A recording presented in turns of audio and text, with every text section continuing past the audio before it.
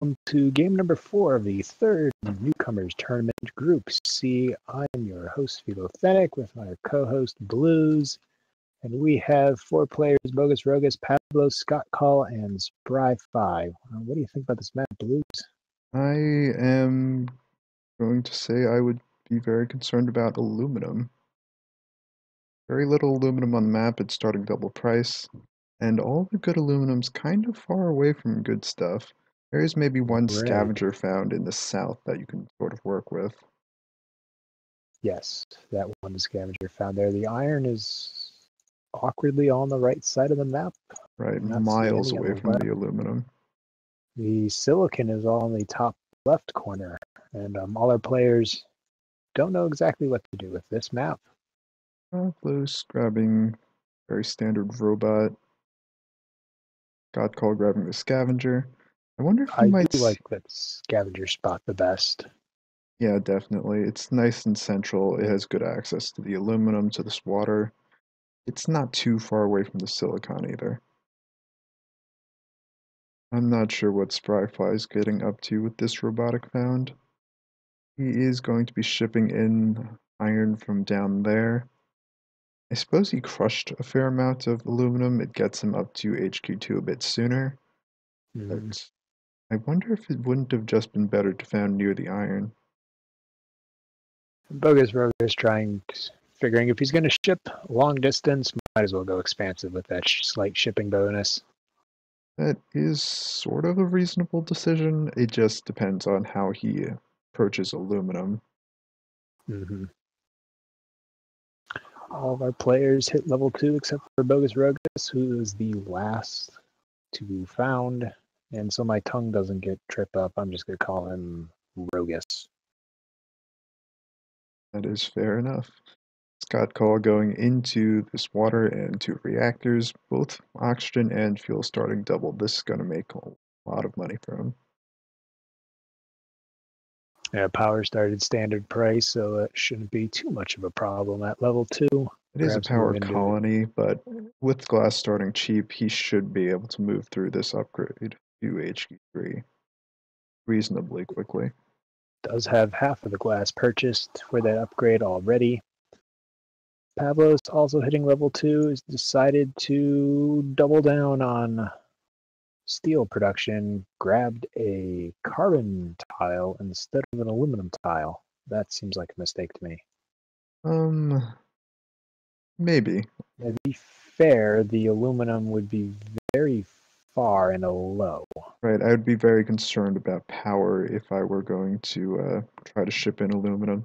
I think taking the There a- carbon maybe sets Pavlos up for a wind transition on HQ3. There is a low aluminum tile directly to the north of Pavlos, though.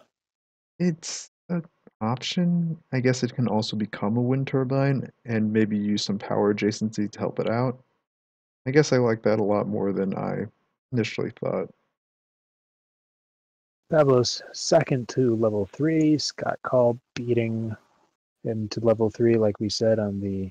Um, What I'm worried about with Scott Cole reactor. is that he's going to water and food, ignoring this power still. I think this is the one thing that could really sink him this game. Otherwise, he was just in a very strong position. we uh, haven't really mentioned Spry Fry since they've founded, reached level three on this uh, interesting found. He's definitely Big. playing a part in driving up this power price, but he's also grabbing some silicon now. Maybe he can make that work. Also has some carbon, a high carbon that's shipping in. Yeah, I think the carbon stored up. definitely feels like a mistake to me after maybe Pavlos and Scott Cole have all that carbon coming in. Maybe just taking a second aluminum tile instead, or silicon earlier, or just a geotherm, just something to deal with the power situation. This geotherm for 18,000 seems quite reasonable pickup by Pavlos. Um, on the one hand, yes, it's not a lot of debt to pay for it. It's going to be a very important tile, and it's not exorbitantly expensive for him to put down. He does already have a goon secured. What I am concerned with is that it's going to be a lot of debt in the moment, and I don't know where pa- uh, Pavlos is going to be making money until maybe he can try to go for power money. Right. If I'm Pavlos, Pavlos has three claims. I want to take. I would use that core samples to pick up a high claim is a excellent play. Yeah, that worked nicely for sure. Oh, And, getting uh, very lucky with the- his second core sample as well with his high water.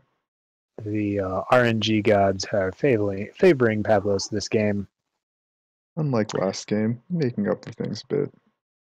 So I do like those both of those moves. He has one more claim. I to would like a second Geo. Yes, second geo right down beneath his base. That's what I would go for. Scott Call has bumped up to number four. Right, managed to get there before things really got out of control. Going into these all these wind turbines will be great for him, except that they're not defended. Power surges and circuit overloads are available. So as long as someone Right. catches this, Now, uh, Spy, Spry Fry has given a free mutiny to Pavlos, but then Pavlos uses it against Spry Fry instead of Scott Call, which is what I would have preferred to have seen. Now, we haven't talked about Bogus Rogus much. Bogus Rogus has been lagging behind a little bit, finally hit HQ level 3, and when I look at Bogus Rogus's base, I see too much shipping going on. Yeah, it was going to be something that had to happen based on where he founded, but it's Not not a getting the situation. silicon that he's not using for anything, getting this carbon that he's not using for anything, I would skip those. The other shipping is yes, all understandable. Yeah, I think that's maybe one thing you can say about uh, less experienced players. Um, picking up carbon seems to be something they like to do on HQ3, HQ4. And generally, you can kind of just skip carbon for a long time. You're not going to be making chemicals or electronics most of the time until the late game. Uh, Bogus Rogus is in chemicals, and they will be doing good things for him. But He's Yes. also just not making life support. Life support is not significantly less uh, profitable, and We have interrupt. We have an aggressive move by Scott Call into Spry Fry, and Scott Call does have the money for this majority buy. yeah, that's just a lot of this power never getting shut down until just now. A lot of power money flowing in, along with all this excellent life support money that he's been making all game. Spry Fry unfortunately does not have the money to defend themselves and will be the second majority buy that we've seen this tournament. Any moment by Scott Call. Yeah, Spryfly made several pretty solid decisions, but maybe just being a little overwhelmed by the shipping cost debt and maybe taking this carbon and a few other things, costing him a couple claims that he could have used. This puts Scott Call in a nice commanding position in this game right now.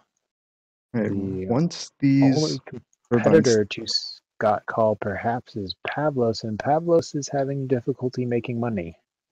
one thing I neglected to point out earlier, Scott Call did build this patent lab right as he hit HQ4.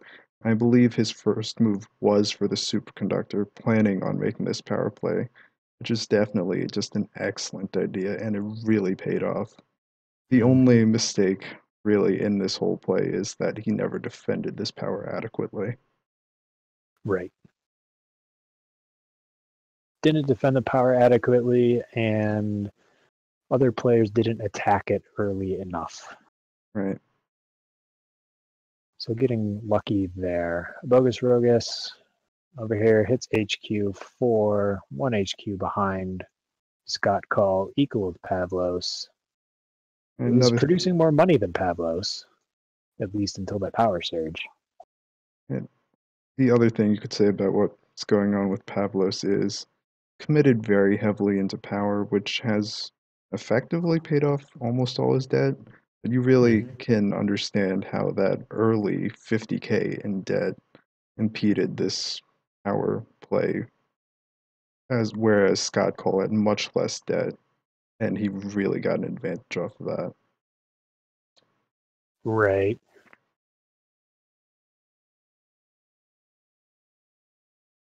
No, Scott Cole, me see, sorry, Pavlos will finally be making power money, earning until that freeze, uh, just under 2k a second, now just operating off the double geotherms at just under 500 a second for Pavlos. Scott Call is still being, uh, his power is still being hit, which is a good call by Pavlos. Scott does have one goon squad here. I'd like to see them put it up on one of these wind turbines. I can't really figure out which one is the best. Yeah, Might as well put it on the one that's not currently overloaded. That's both the most likely to get hit, I think, and just it's very strong tile and it's not affected right now, so good choice there. I do have to wonder a bit about placing this pleasure dome down when you already have this patent lab tile that could very easily become a pleasure dome. Mhm. It's probably fine, but maybe having that extra claim as a scavenger could be useful. But he does still have this very large lead, and it's hard to see any of these things costing him all that much. No, Pablos finally hits level five on the back of the power play. Now, what he needs to do, he- he is behind. Probably not going to get much help from Bogus Rogus, although Bogus Rogus does have 78k. Pavlos needs to move into something else that makes money. I think part of the problem here is that uh, if Pavlos and Bogus Rogus really wanted a chance to get back into this game, it needed to work together to get aggressive majority buy Scott Call when they could. By taking this Mhm. upgrade, by taking all this extra defensive stock, they're really kind of just entrenching themselves into a longer game when Scott Call has subsidiary already pulling in so much money. Right, and consolidating that subsidiary, making his stock more expensive. An excellent move by him. Maybe you would have liked to see him push into some of his own stock simultaneously, so he's not costing himself extra money to defend himself later, but not a Still major have- thing. Still has the option, 82k in the bank, if they wanted to. From here, I actually might, I don't know, I'll contradict myself and say maybe I wouldn't even think about defending myself as Scott Cole. Maybe I would do exactly what he's doing right now go for this really cheap buy on Bogus Rogus. Pavlos can't really effectively threaten you. He's 250k, 200k short, somewhere in that area. So you Mhm. can pick up Bogus Rogus very cheaply. You can turn around and start attacking Pavlos too before you're in any real danger. Pavlos is doing the correct response um, to this buy as best as he can. He has three auto off farms that he, Pavlos just real recognized this and is switching them over into a metal mine. Right. I would feel like what Pavlos is doing is too little too late, but it is definitely what he needs to be doing. He also needs to sell out of the rest of his own stock, he, and he really needed Bogus Rogus to help out. Because they do still have enough. They could have finished the buy together. At the very least, Bogus Rogus buying into uh, Scott Call would have delayed that buy a little, given Pavlos a little more time to try to make this work. Yes, the problem with those sorts of plays is it takes uh, two to tango. Right, and it's definitely not a straightforward thing to think about. It's something that maybe requires more experience to notice that sort of opening. And since we do discourage chatting in the game, it makes coordinating a little bit harder. At this point, I think Scott Cole really needs to be pushing into Pavlos' stock. Just discourage this from going on. Because, well, he's not really threatened yet. It's not long until he starts really feeling threatened. Force Mhm. Pavlos to sell out now before you're forced to try to scurry to your own defense. Pablo's making good use of the core sample, getting a bunch more water while water is really high. Yeah, also getting quite lucky, getting a bunch of double tiles, a second high water. All right, so Scott needs. Scott has 123k, Oh, but just a lot of that money is in this off world. Yeah. 128, he doesn't cancel this off world. He could be in a lot of trouble. and by a lot of trouble, we mean could lose the game. Yeah, basically. Scott Pablo's only needs 70k to finish this buy. Needs 60 more k, while Scott needs another 140k and currently has 123k on hand. But a lot of that is in this off world. So this could have a much more exciting finish than we might have first anticipated. And remember that Pavlos does still have the option of selling out of this stock he bought in himself. So Yes. he doesn't really need all that much more cash. He should sell out of that one stock and finish the game right here, right now. Every- And Pavlos does sell a stock, has the buy, That is quite the upset. Scott for Scott's mistake in not defending himself and building that off world. I think he made the correct aggressive moves, but he didn't. He wasn't able to follow it up appropriately, and he ended up doing just enough to make, leave himself vulnerable.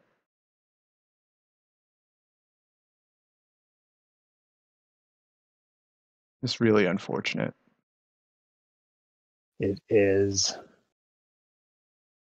Um, yeah. After that upset, upset victory by Pavlos, that sort of changes what you're going to say at the end of the game. You have to reprocess a little bit. Um, Pavlos did, like we said multiple times already, making use of core sample, which is a underused black market item in this game. Pavlos Managed to get exactly what he wanted off those core samples. exactly what he needed, and the only person to use core sample, buy, buying it four times for 15k, more than paid for itself. I think. To be fair, uh, at least Scott Cole in particular had no real reason to use core No. samples. He had great access to all resources. Scott Call had the best founding location, everything that he needed. Spry Fry. I'm not sure what Spry Fry would have used the core sample for.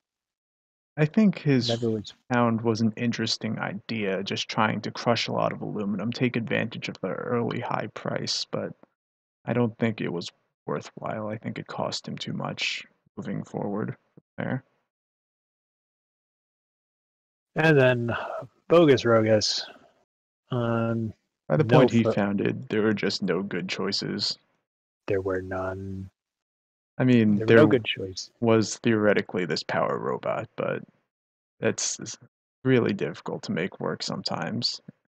The Power Robot would ma- might have been possible With the power Um, colony, I think it would have worked nicely. Silicon started high, you could crush a lot of silicon, push to H2 too quickly, get a bunch of solar panels up, and I think you're set up pretty nicely. The only issue with that was power started at normal price. Right. But I think, I So- mean, normal price isn't really a problem, I think. Now it would have been a slower power robot, but it probably it would probably would have been better than the expansive found. Um, to be fair, power robot is one of those founds that uh, it's a little bit harder to pull off. Right. than- It's unconventional. It requ- requires a different approach than most of your other plays. Often with a power robot, you can start up really quick, and then if you don't make the correct mid game transitions, you can just sort of putter out and die. Right, and it it's also just so uh, reliant on other people helping you out by selling down your steel. Correct. Uh, let's see, when when I would have found it, there would have been two robots on, so could have It could have worked this game. would have worked this game.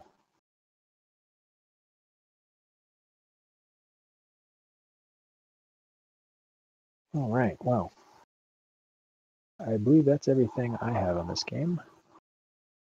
Indeed. Not much more to say than that surprise ending. Just uh, make sure to defend yourself before going to the off-world.